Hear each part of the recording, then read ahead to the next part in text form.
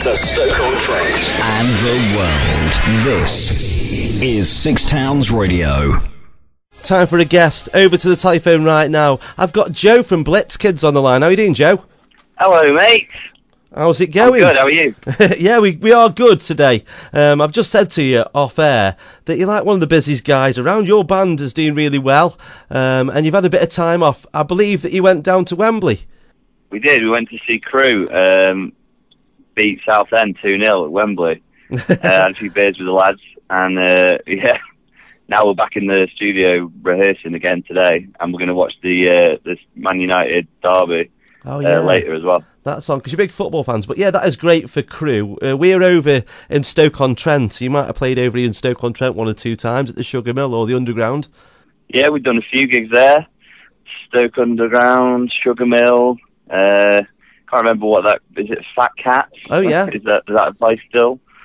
Yeah, but a bunch of places. We played in a tiny little hole. Uh, where is it? I can't remember. we played loads of places in Stoke. yeah, there's quite Yeah. a few.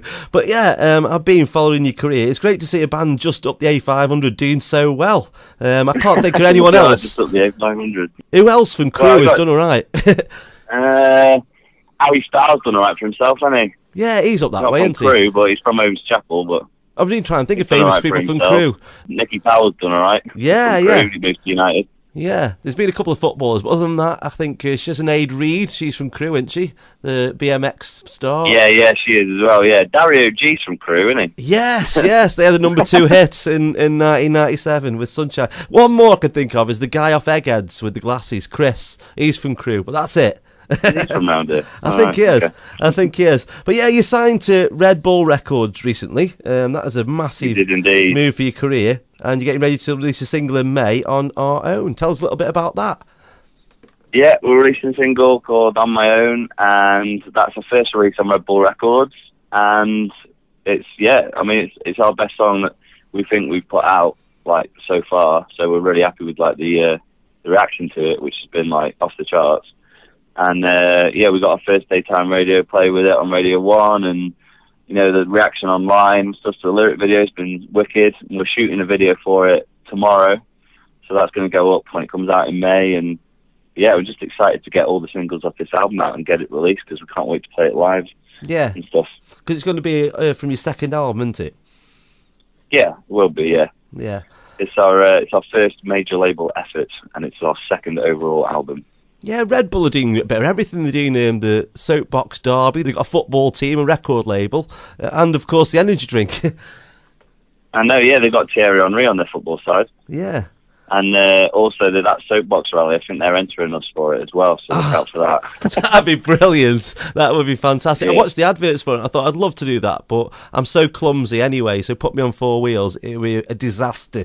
It really would. Oh yeah, we won't make it. We won't make it down to the bottom. We'll be drunk. We'll just fall. We'll just fall at the first hurdle probably. but, But you, you know, it'll be a bit of a laugh. But you're recording the video, and then you're on tour um, with uh, Lower Than Atlantis. That's going to be exciting because I've noticed the dates go from the 16th to the 25th, non-stop. You're not having a night off. Yeah, yeah, pretty much. We're going to Ireland as well for the first time, which is wicked.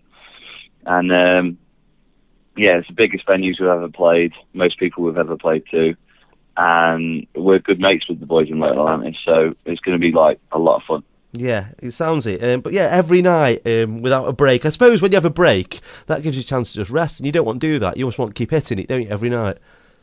Yeah, we used to come home because we're out in the centre of the country, so we used to come over every night, like when we would do like national tours, because we'd always be quite close, and we'd think, oh, we'll just go back to our own bed, but then you don't really feel like you're on tour.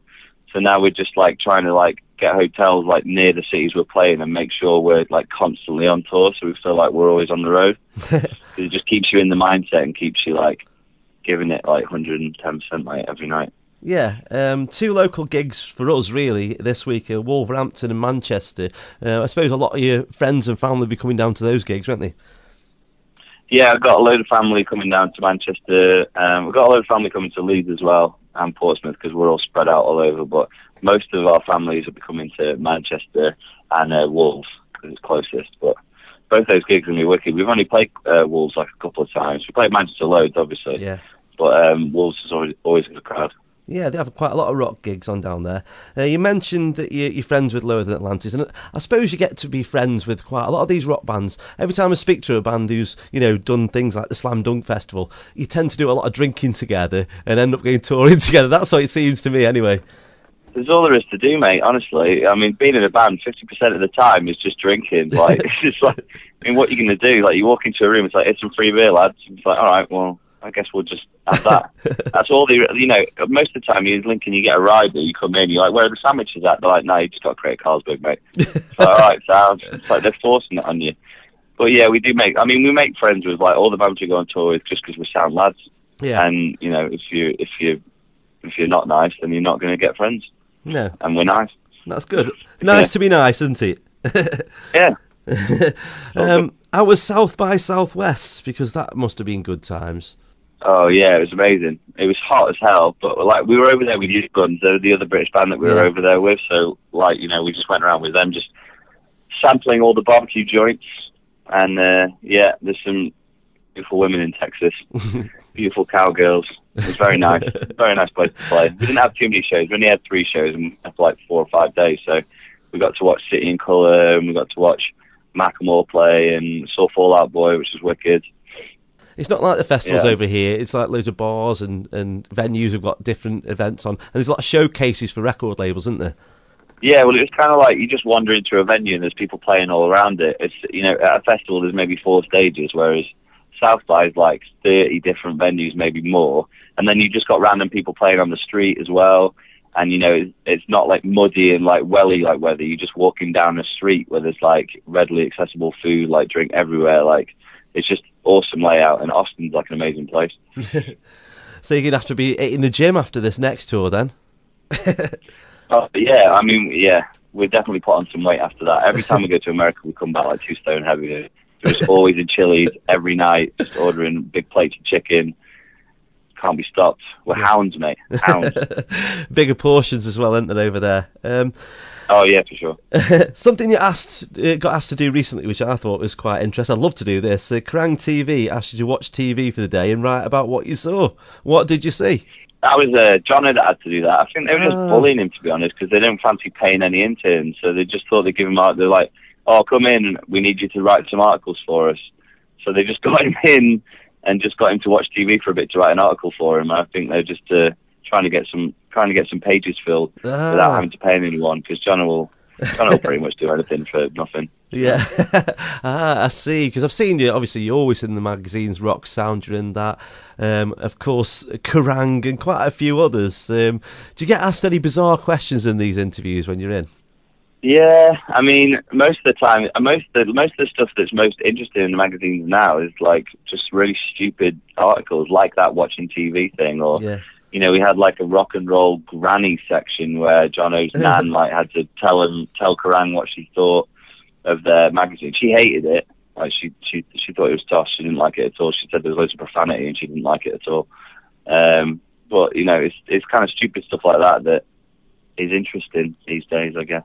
and then of course this front magazine where there's about five pages of music in, and the rest is just well, you know what the rest is.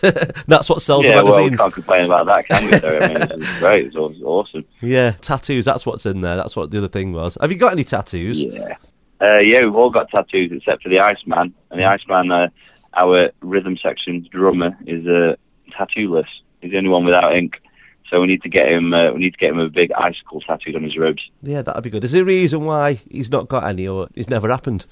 I don't know. I think he's just late to the game. It just never happened for him. But uh, we all get free tattoos from this guy up north in Northwich. Um, and so he, he lives down south in Exeter. So we need to get him up north and get him uh, into the chair. Yeah. And I'll sort him out. That's great when you've got a mate who'll do that, and obviously it'd be good for his CV having you guys uh, tattooed and ink there. Yeah, well, I think it's, it's almost better for us to be honest, mate, because he's like one of the best in the country. He doesn't even need. I don't even know why he gives us free tattoos. To be fair, we sort him out with tickets to download every now and again, and he seems happy. Yeah, Usually, we just turn up with like a bottle of Jack and sit down, and he just goes to work. And that sounds very unprofessional, and like he's doing terrible tats on us, but he's actually very good. you just mentioned download. You've got some festivals booked in. Where can uh, the people see you? Besides this uh, tour that you have got coming up, where can people see you in the next few months? Uh, they can come see us. We're opening the stage at Download on the Sunday, so they can come see us see us play there. They can also come to Slam Dunk. Uh, Leeds is sold out, but they can still get tickets for. I think they're doing well, they're doing one in Hatfield. I think there's another one in Wolves. Um, so that's pretty close. Um, they can come to Slam Dunk Festival, which is amazing. Um, and then I think that's all we've got lined up at the moment. A TBC in the calendar. Yes. Uh, that obviously I won't say, but we'll just see if we get them out. And Yeah. uh, just go follow us on Twitter, and you'll find out every gig that we play. Yeah, that's on there at Blitz Kids. You're on Facebook and everything. I mentioned your single called On Our Own. I know it's on my own, but I was thinking that horse that I backed at the Grand National, that was called On Our Own. You didn't have a fiver on that, did you? I had a tenner on it. Oh, you let me down too. Absolutely gutted. I was in the bin, mate. I was just devastated, absolutely devastated. Uh, John who won on the national, he only won about seven quid because he only put like one fifty on. But I think me and Iceman put a tenner on each, and we didn't get any. We thought it was a sign. We, Yeah. we we were like, oh, it's a sign, it's a sign. We'll put some money on, but nah, didn't come in. Failed to finish.